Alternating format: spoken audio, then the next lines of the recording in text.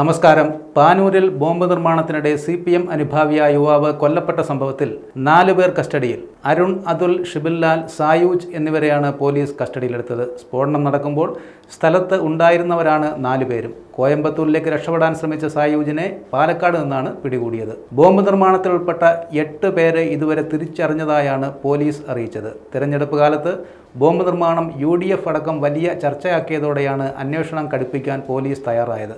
വിഷയം വിവാദമായതോടെ മുഖ്യമന്ത്രി പിണറായി വിജയനും സംഭവത്തിൽ പ്രതികരിച്ചു. പ്രതികൾ ബോംബ് നിർമ്മിക്കുമെന്ന് നാല് മാസം മുമ്പ് ഇന്റലിജൻസ് റിപ്പോർട്ട് ഉണ്ടായിരുന്നു എന്നതിനെ കുറിച്ച് തനിക്ക് അറിയില്ലെന്നായിരുന്നു മുഖ്യമന്ത്രിയുടെ പ്രതികരണം. ബോംബ് നിർമ്മിച്ചത് ഗുരുതര നിയമലംഘനമാണെന്നും ശക്തമായ നടപടി ഉണ്ടാകുമെന്നും ആഭ്യന്തര വകുപ്പ് കൈകാര്യം ചെയ്യുന്ന മുഖ്യമന്ത്രി വ്യക്തമാക്കി.